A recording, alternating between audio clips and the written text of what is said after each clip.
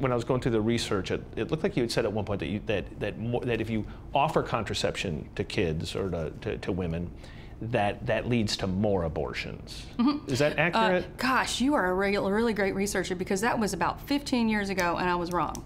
Right. So I, I don't. So you don't believe that I don't. I don't think that's true, and I and I also don't think that. Um, and I, and I do think that contraception is widely available, whether Yeah. you use it or not.